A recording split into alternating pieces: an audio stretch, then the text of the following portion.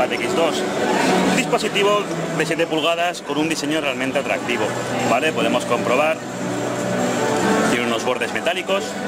En el lado derecho del dispositivo tenemos el botón de encendido, apagado y el control de volumen, mientras que en la parte superior tenemos la salida de jack.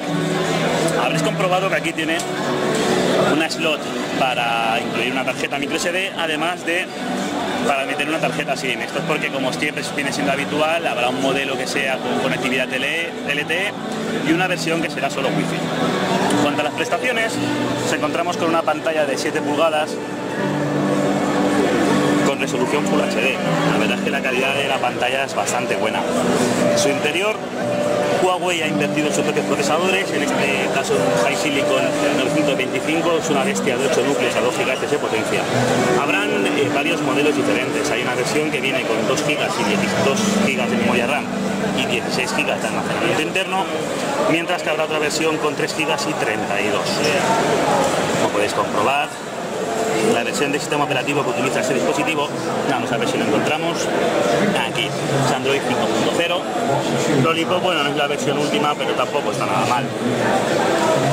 Un detalle destacable, su cámara trasera está formada por una lente de 13 megapíxeles, seguramente cortesía de Sony, por lo que la calidad de sus capturas es bastante buena. Vamos a realizar una pequeña prueba para que podáis ver la calidad de la cámara del MediaPad X2.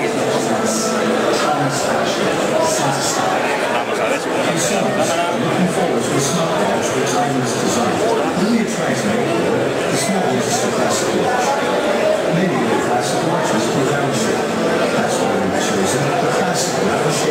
Para apoyar el un poquito más.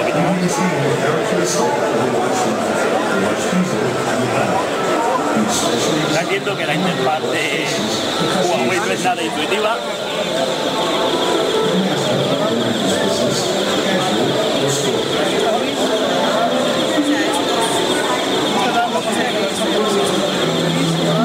Cámara, es un logo y me come. Bueno, ahora que ya hemos conseguido acceder.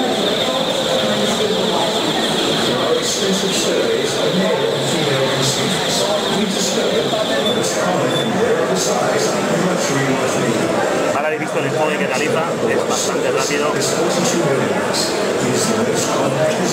Y la calidad de las capturas sencillamente impresionante, seguramente será la lente de Sony. En la parte delantera nos encontramos en este caso una cámara de 5 megapíxeles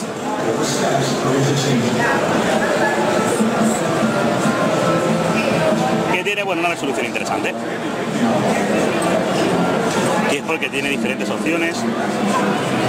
Por último decir que no sabemos la fecha de lanzamiento de ese dispositivo, solo que en principio los chicos de Huawei nos han informado de que llegará a España. Eh, por los rumores hablaban de que costaría aproximadamente 320 dólares, de cuando llegue al territorio nacional lo más seguro es que se quede en los 350, incluso 399 euros. De todas formas, por las prestaciones que tiene, especialmente el procesador que integra, es uno de los tablets más potentes del mercado.